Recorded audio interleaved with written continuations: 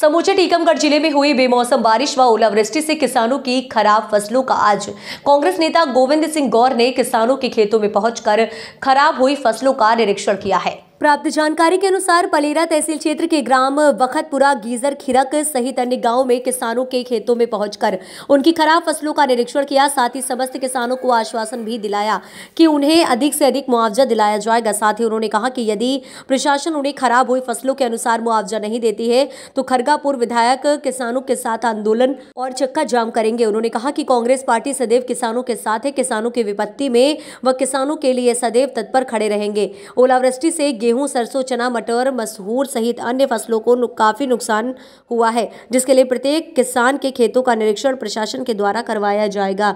साथ ही जो भी उचित मुआवजा होगा वह किसानों को दिलाया जाएगा। वहीं कांग्रेस नेता गोविंद सिंह गौर ने कहा कि किसान देश का अन्नदाता है।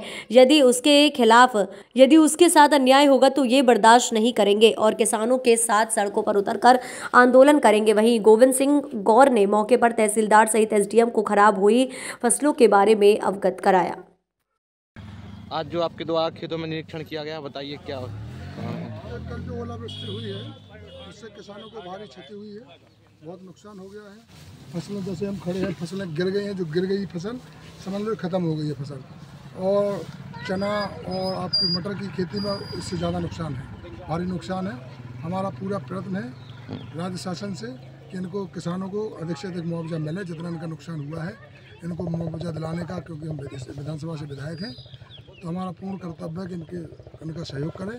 और मैं आदरणीय कलेक्टर साहब को, एसडीएम साहब को और तहसीलदार मैडम को इस बारे में पूरा सूचित करूँगा कि इनके सर्वे कराया जाए पटवारियों द्वारा और इनको उचित मुआवजा दिलाया जाए। ठीक है भाई।